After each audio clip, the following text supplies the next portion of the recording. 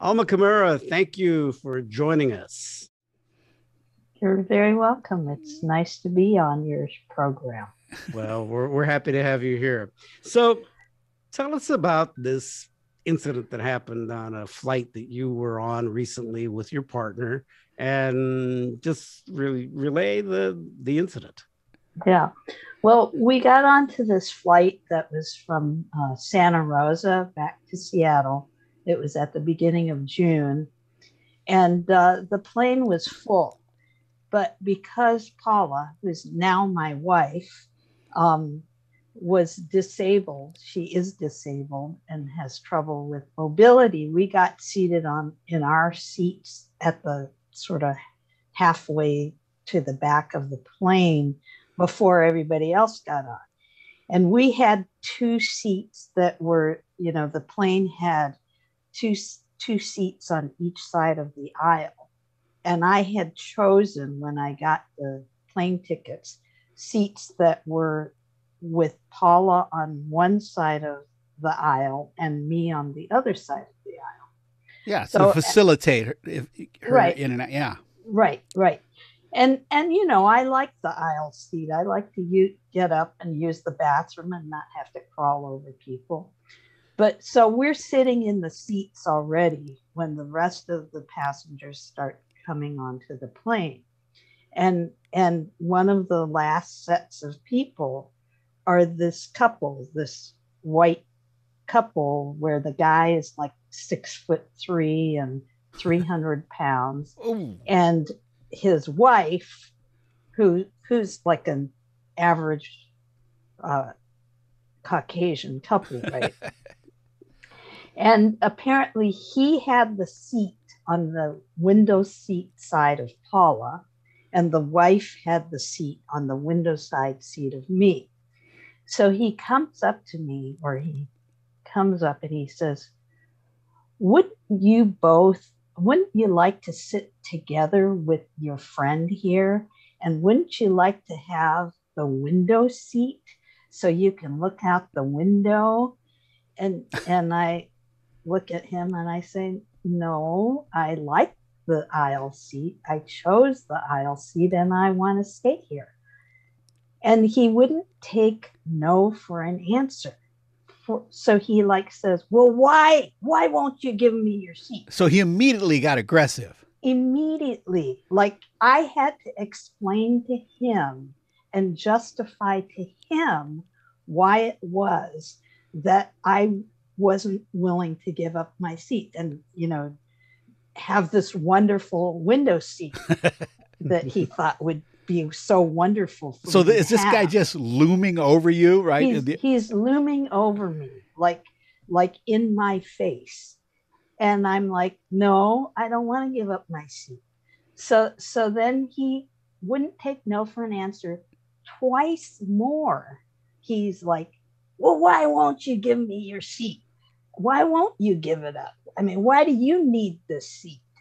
and and it's like I I'm like, why do I have to explain this? Well, like, was the plane fully boarded at this point, and he was just yeah, okay, yeah. They, they were like one of the last sets of people to board. So, and and the plane was full. This was like at the beginning of June. So, um, so then he proceeds to like, sort of, you know, mope and groan and and push his way into the seat. His his wife at this point is totally silent, like you know he's pushed her around, yeah, and she doesn't really want to get involved. So he sits next to Paula, and I look over at Paula and him, and he's like glaring at me, get, giving me stink eye, and I'm like, uh, you know what? I don't know why you're you're acting like I'm supposed to give up your seat. It's it was my seat to have. And he starts going into that whole thing again of, well, you know, you should give up your seat to have this window seat. And why did you why do you have to have the aisle seat? And at this point, you know, our voices are raised and a couple flight attendants come by and they say to him, you know, she you can ask, but it's her seat. She doesn't have to give it up. You paid for the seat. You paid I for paid the seat. I paid for it and I got, you know, I got the reservations early enough that I could choose the seat. So I say to the flight attendant, well, you know, this guy is really trying to intimidate me and and bully me into giving me his seat. He's giving me he's sitting there giving me stink eye, acting like he could exercise his white male privilege to take over the seat from this, you know, uh, here I am, four foot nine Japanese woman. And clearly he, you know, I think about it, he would not have done that to another white man. He, Oh, I think sure, he, yeah. he only did it because he felt like, you know, here's this little Japanese woman. I probably didn't even know I was Japanese, but probably just figured he he's throughout his life been able to bully people and doing into doing what he wanted. So he thought he could do the same with me. And you know, it's like when I said to the flight attendant he was trying to exercise his white male privilege, he like had this total look of surprise, like, oh no, no, that was never my intention. But then the whole rest of the flight, he has his leg stuck in the seat in front of Paula's and his armrest hanging over on uh, his arm hanging on the armrest between them, sort of like to remind her that I wouldn't give up my seat to him. So, in other words, guy was being a complete asshole. Oh, yeah. I mean, so do you think that that is?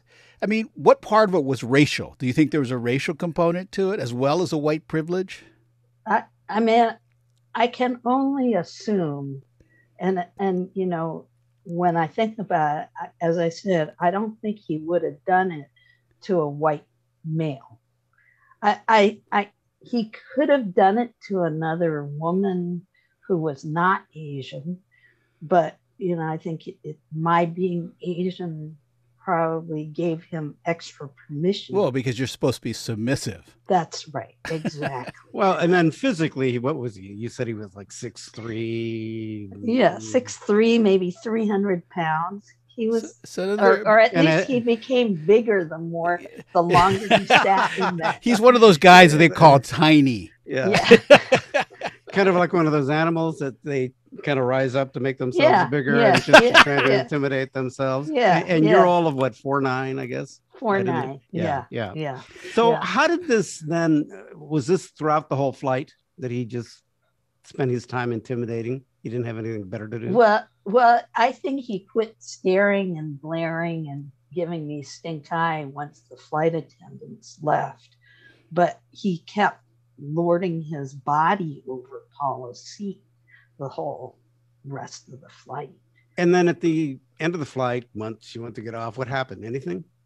Um, any more any more words? No, no. I I think that well, what we did though was because Paula has mobility problems and she has a cane, right?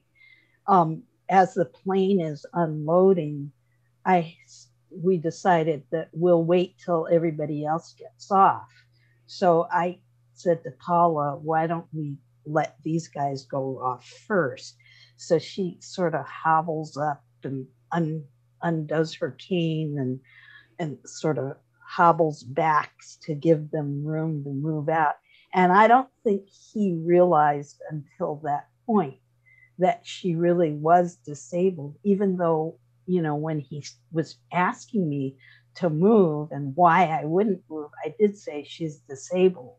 But it probably didn't occur to him or didn't dawn on him that part of the reason that we didn't want to move was because she's disabled. And I would have imagined that once he saw her trying to move, he may have realized that he was trying to push around not only me, but this disabled person. You know, eh, we've all seen the the the videos, you know, the Karen videos on YouTube and stuff. Did you ever imagine yourself to be in one of those situations? or that you're thinking, oh man, I'm going to be on a video here. I'm sure someone recorded it. Yeah. yeah. Yeah. Yeah. No, I, I mean, I, I had no idea. It just seemed like what kind of nerve this guy had to think he could push his way around. Do, do you feel like it, it, there's a there's some civility issues right now in society that this was just part of. I mean, does are you on a little bit more alert because of this incident?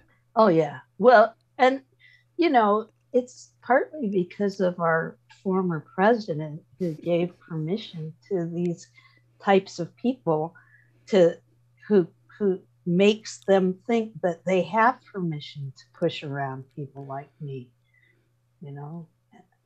And were you even more concerned being an asian woman and during the time when we've had you know attacks in the asian on asians? You know just because i of who i am and you know i i've been an attorney for 40 years now and i've been in courtrooms where i've had other attorneys who are much larger than i am who've tried to intimidate me and i just kind of stand my ground. I have learned not to allow people to push me around even though they're more physically able and you know i'm a power lifter and so i don't get pushed around. I i have this demeanor of being somebody that you don't want to push around but people who don't know that about me and you know i was already sitting down when this guy came up to me he didn't know what he was dealing with or who he was dealing with but no i i had not been overly concerned about the Asian rise in Asian hate crimes. I just sort of was never, it never crossed my mind that I would be a victim in that way. Okay, so admit it. Were you thinking about, okay, am I going to have to body slam this guy?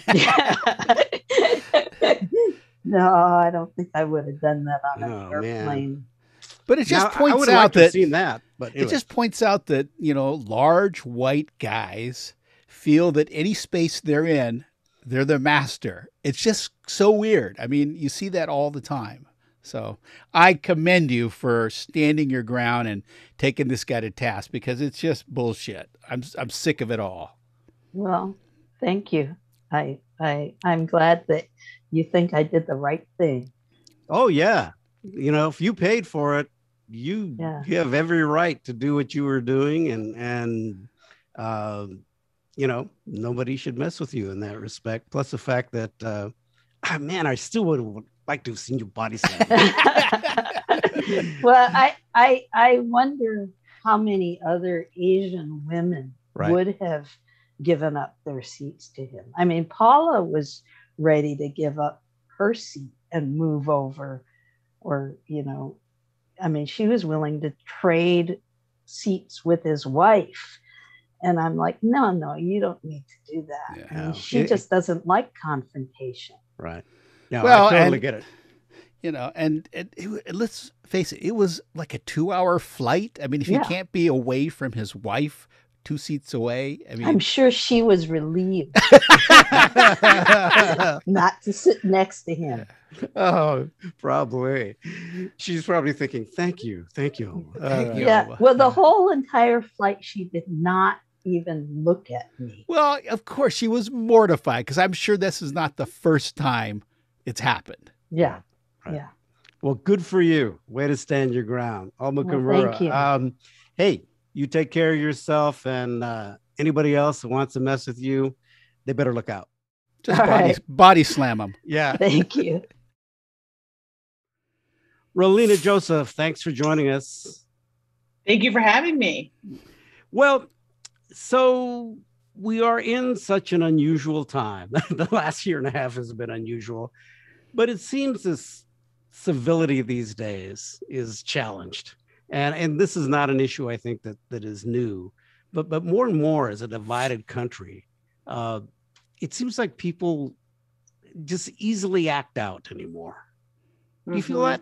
Do you feel that? Yeah, I think absolutely that um, a lot of folks are are done, right? I think that a lot of folks are are really um, exhausted in lots of different ways. Uh, we are more divided from each other than ever before, and um, people are have very short fuses and are acting out in a variety of ways. Well, do you think that is a, a, a the factor is that we were shut down and people just tend to silo themselves in, in social media, which is, you know, we all know is a rabbit hole that just doesn't end. I mean, how much of that is played into it? Because I don't buy the the the whole idea of we've forgotten how to act in a civil society. I, I just don't buy that at all. I think that, that it's certainly the effect of being siloed, but it's in the uh, the effect of being siloed at the tail end of um, of 45 right of yeah. a president who was who was fomenting hate around the country and was encouraging bad behavior right was modeling bad behavior for everyone. And, um, still is actually. Right and still is. We're trying to ignore him and not give him any that's why any we're just saying time. 45 right? Precisely precisely. He doesn't deserve a name from us. Um, but I, but I but I think that that um, this was not the way that many people were taught to to actually behave and to see at the highest levels that we had uh, uh, you know someone who was who was mocking. I mean we don't need to go through the litany right? Was was spouting racism mocking people who were disabled. All of the different things that we saw meant that it was absolutely um, permissible for an everyday person to act out in all the same ways and I think it seemed like it was encouraged as a badge of honor to do it, and even mm. to some degree still is by groups of people. Uh, and let's let's face it, look at what happened on January sixth.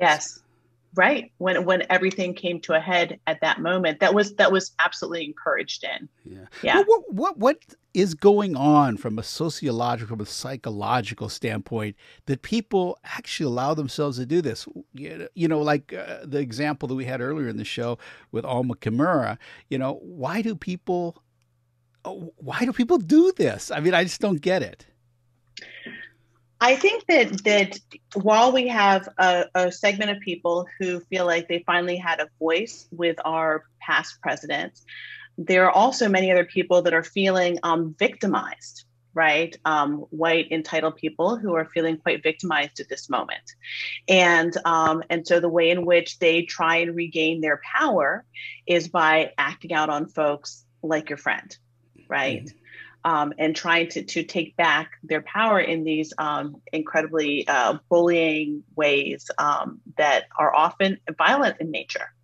Uh, we see this in, in, so many different different aspects, and that that um, w- we see this in the fights right now against critical race theory, right? Right. And the desires to not understand uh, things like racism as anything other than individual, and also in the past, and and they're angry right? They're angry at all the things that we have known forever, right? And that our families have known forever. And also, I think they're scared. They're scared potentially that we are at a tipping point. We're at a moment of change. We just had a, a I, I hope so too. Um, we've had this moment, you know, this this year of, of, people have been calling it the racial reckoning. I hope it's true, but certainly it's it's it, it, things are not going to go back in the same way, and I think that's terrifying to those who have held on so closely to power for so long. You know what's interesting is that I've I, I, a lot of young people today now, you know, obviously are speaking out, and I think they're the reason why hopefully things won't go back. Um, but there's even infighting there that's happening about are you black enough are you latino enough are you are asians really people of color and which is creating other bits of friction among groups that are really have the same uh, issues that they're dealing with when it comes to prejudice, discrimination, and and racial injustice. Absolutely, absolutely. This is definitely not a, a, white versus a POC issue. That this is a moment in which we are seeing all kinds of authenticity politics that are coming back um, in a way that I think have echoes of the 60s, but um, but also are really kind of unique to this moment, and really unique to a social media moment as well. I mean, talk about a place where people can have all kinds of bad behaviors uh, in, in in ways that sometimes it feels like um, they they never have to experience any consequences for right? So yeah i think that there's a lot of um there's there's a lot of a a historicity right? And not acknowledging um, the connected fates of so many people of erasing indigenous folks from this fight right? Of, of not understanding the ways in which we all work together um, and that that anti-black racism anti-latinx racism anti-asian american racism anti-indigenous racism that all of these things um, are created and constructed together. And so we need to actually come together to create solutions.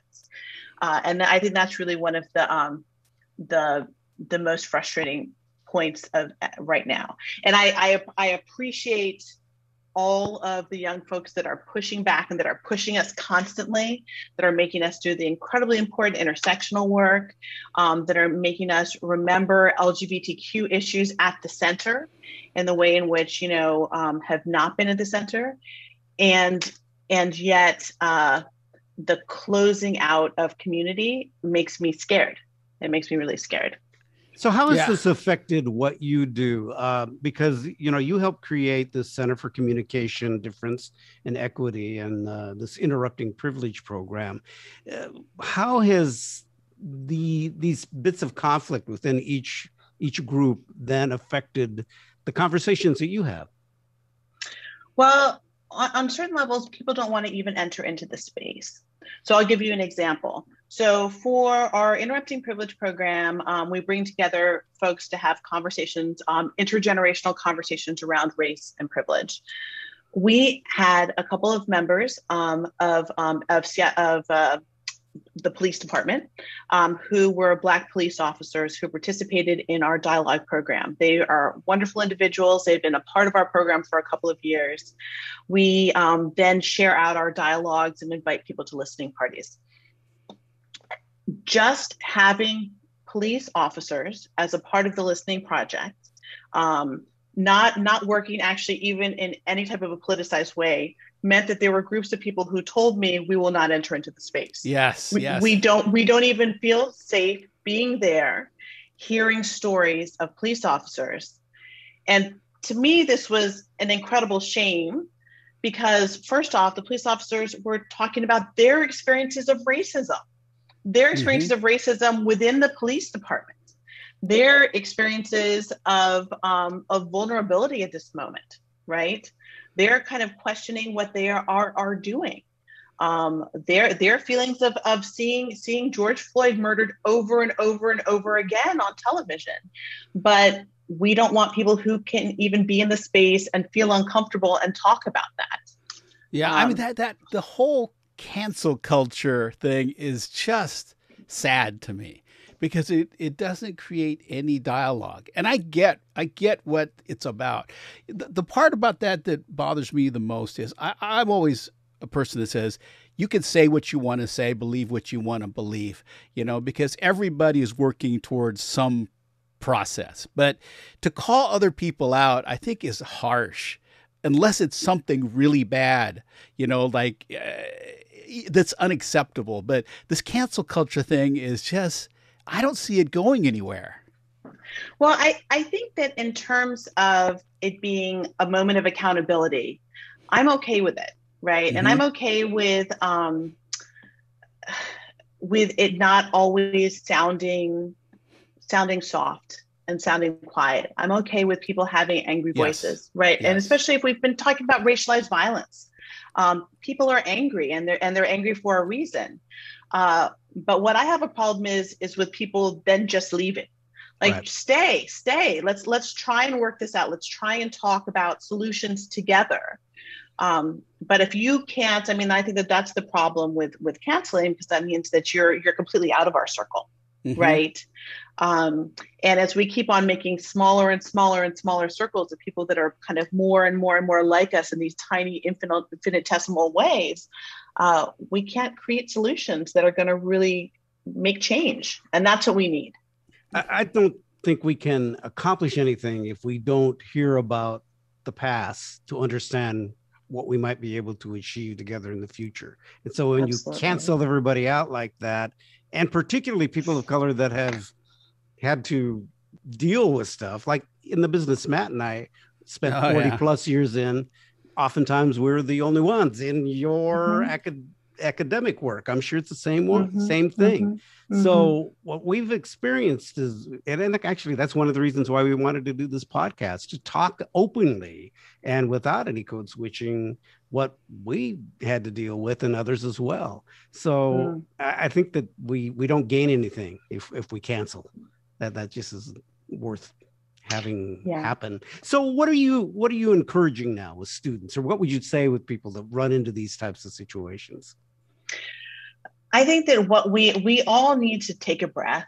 I think that's one of the hugest things of this moment. No kidding. Yeah. we we all need to really take a breath um, and and understand that that people have been traumatized um, that we have had many of us have had um, family members friends um, uh, many who have died over the last year that people have experiencing have been experiencing racial trauma. And so we need to take a breath around that. Um, and if we're experiencing bad behavior i think we can try and pause and at that moment think, okay, um, is it me? Did I do something in this moment? Right. And and and step back and not automatically add fuel to the fire. Right.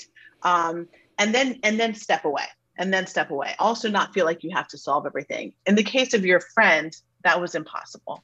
Yeah. Right. You know, Yeah. you're you're literally stuck on, on an airplane with someone. But I think that um, in this moment where it feels like, and people are bringing this to me, that, that there are other folks that are really just trying to um, to cause fights, you can also just step step away, step away from the keyboard. Is what I'm always telling my students. Yeah. Um, is are you actually gaining anything um, by by creating these these constant kind of fights and, and starting these diatribes online? I don't. I don't know. Mhm. Ralina Joseph, thank you so much for your insights and uh, continue uh, doing your great work there at the University of Washington, even though I'm a Coug and what's his face over there is a, I'm a at duck. Oregon. Yeah, anyway, uh, but we uh, really do appreciate your work and admire it. And thank you for taking the time to be with us. Thank you so much for having me. Thank you.